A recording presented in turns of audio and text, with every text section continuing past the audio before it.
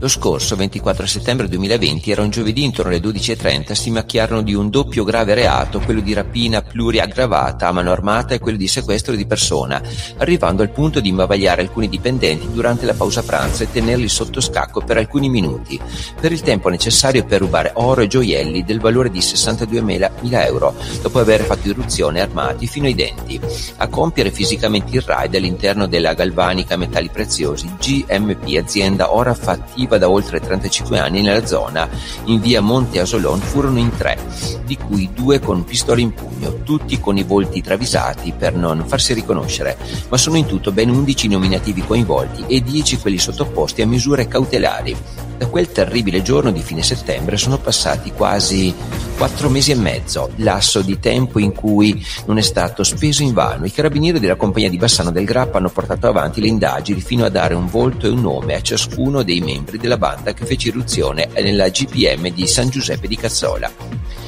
Si scopre oggi che già lo scorso 13 ottobre, quindi una ventina dopo l'assalto del comando armato, due dei presenti componenti furono arrestati a Torino dai militari dell'arma di Mirafiori. Si tratta di Antonio Rosi e Dario Russo, i cittadini italiani ricercati e pregiudicati noti. I carabinieri non si accontentarono dei due pesci grossi caduti nella rete, ritenuti componenti del terzetto che fece irruzione, proseguendo l'attività investigativa con pedinamenti, testimonianza e ricostruzione. Proprio grazie allo strumento del riconoscimento papillare si è arrivati ad un terzo nome, quello di Luigi Spavento, grazie al contributo delle indagini denominate Operazioni Brass and Golda, offerto dai laboratori del RIS di Parma, fino a giungere ai giorni nostri con stamattina, prima dell'alba, a far scattare l'ultimo blocco del piano d'azione, andando a prelevare alle 6 del mattino tutti gli indagati coinvolti a vario titolo nel raid del 24 settembre.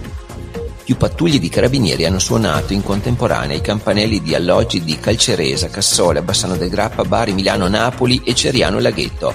in Monza, Brianza, per gli arresti di tutte le persone ritenute ramificate della banda disposta la detenzione in carcere per i tre italiani sopracitati, vale a dire Antonio Rosi, Dario Russo e Luigi Spavento, ai quali si aggiunge Kassem Yamili, considerati gli esecutori materiali della rapina a San Giuseppe.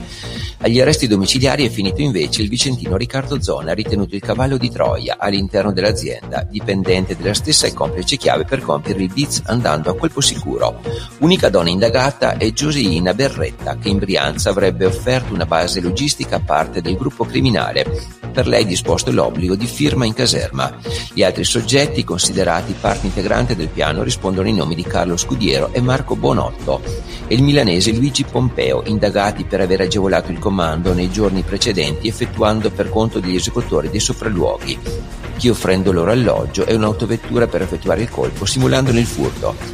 A, ordi, a, ordine di dettagli a fare capofila della rapina anche gli intenti di rapinatori doveva fruttare un bottino milionario ben più corposo e ritenuto Giovanni Flacchi, nome legato agli ambienti criminali.